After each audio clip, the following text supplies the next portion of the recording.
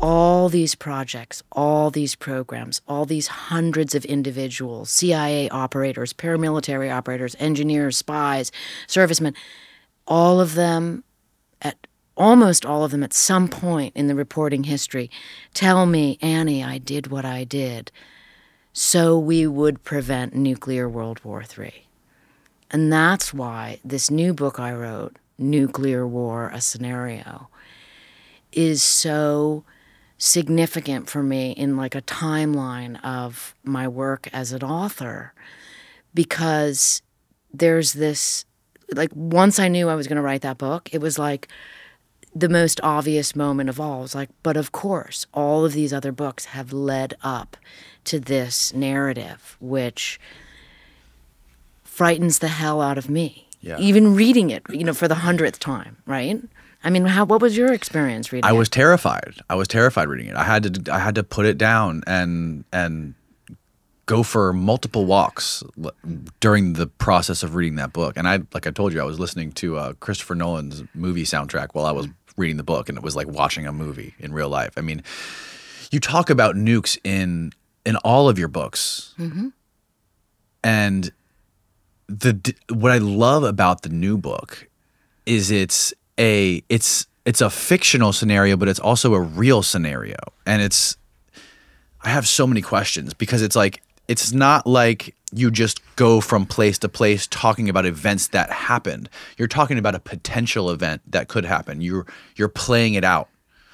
A, a fictional a, a scenario that could possibly happen, which makes that book so unique and so captivating to read. And it's And a, and a small correction is that I don't know, I wouldn't call the book fictional. I would call it Right. a fact based Yes. scenario, Yes. right?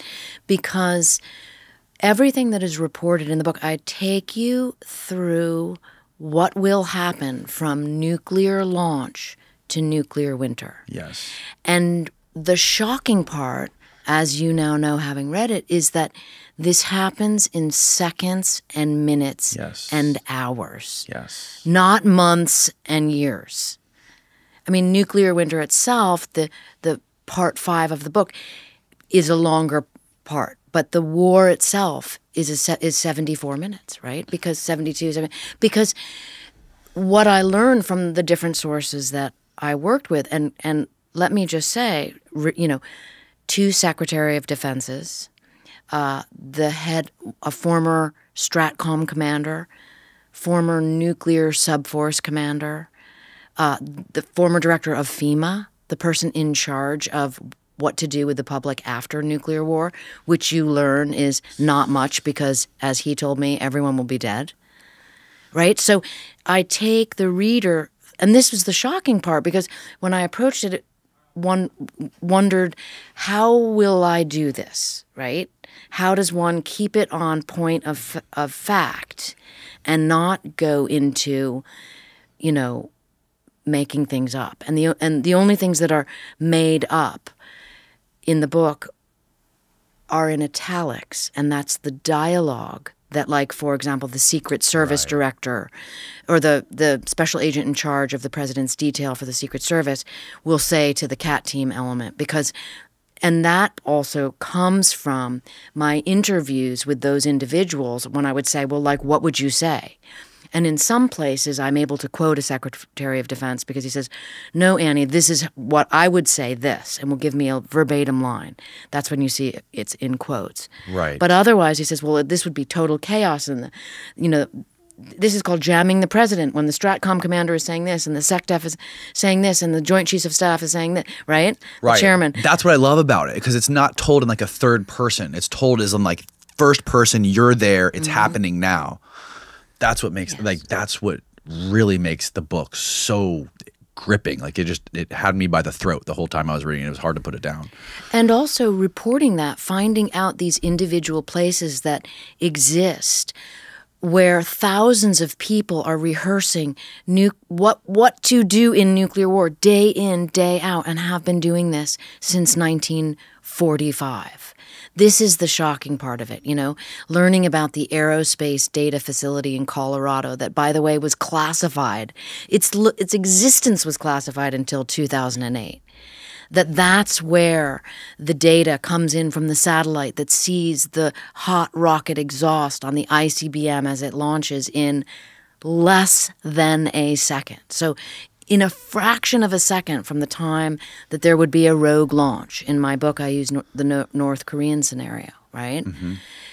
A fraction of a second, the entire command and control, nuclear command and control system knows, holy shit, nuclear launch, right? And then it's just tick, tick, tick, tick, tick, tick, tick, tick, tick, counting down what happens.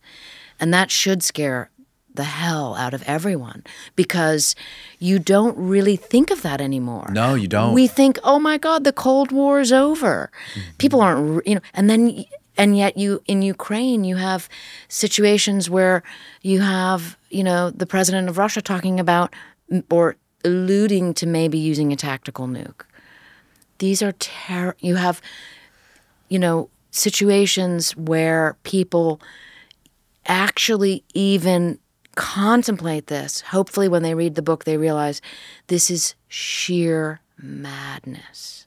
The idea of even using one nuclear weapon. Hmm. All the war game scenarios in the Pentagon have showed us that once one is launched, it's They're the end game. launched. Yes.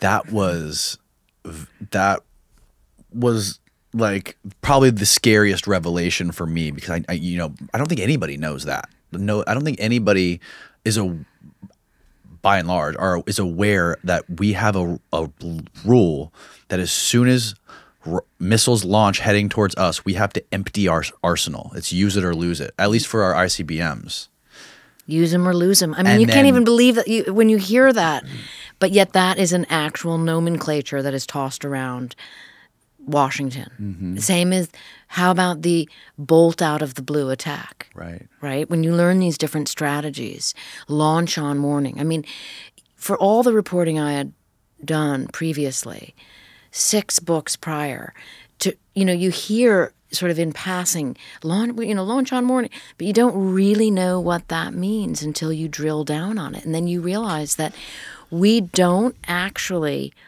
that the way in which the policy is set up. And again, this is explained to me point by point from Sec- former Secretary of Defense William Perry, right? Point by point, we do not wait to absorb a nuclear weapon. So once the satellite systems tell us, whoop, a nuke is on the way, launch on warning is the policy. and then they you, you, you I didn't know this, but they launched them over the North Pole to go hit. If it is from North Korea, it has to go over the fly over Russia to hit North Korea. And what are the chances that we can get Putin on the line in less than six minutes to tell them, hey, we got MIRV nukes coming over your continent of Siberia and Russia that are going to go for North Korea. They're not coming for you. They're going for North Korea. That is terrifying. I mean, it's so terrifying and it really is almost unbelievable. Like, okay, I mean, most people do not realize that. And even if you, when I had an, initially, there's a, a brilliant scientist called Hans Kristensen who keeps track of all of the nuclear weapons and reports them with his colleagues in the Bulletin of Atomic Science mm-hmm. you know, it's called the Nuclear Notebook. And so he keeps track of all these things. And I did the interview with Kristensen, and he's the one who said to me, absolutely, the nukes go over the North Pole if we're going to strike back at North Korea, let's say, if they had, you know, attacked us. Right. And they have to overfly Russia. Right? And so you think to yourself, wait, is that really plausible? And when I did my interview with former Secretary of Defense Leon Panetta, who was also a former director of the CIA mm-hmm. and was also a former White House chief of staff. Okay. So he has been around in all these different positions. And he said to me, I'm paraphrasing, yes, the hole over the North Pole is a problem. You know, you just go, oh my God, right? Like, how can this kind of existential, like, mayhem, potential apocalyptic mayhem exist every second of every day of every year. And it does. And we just are kind of living with this sword of Damascus hold, hold you know over our heads. Yeah, yeah. Like, okay, well, and I really I mean, the book is terrifying, but I hope that it brings to the table a discussion about all of this. Like, you know, it's not something that is wise. And it's certainly not something, you know, when you look at the former president, you know, the whole fire and fury with, with North Korea, it's like that just seems so reckless once you know how fundamentally perilous all of this is. Yeah, you said it great in the Pentagon's Brain book. You said every man, woman, and child has the sword of Damocles dang- Mm-hmm. dangling over their head by the thinnest of string strings. Yeah. And it could be cut at any moment by accident or by a miscommunication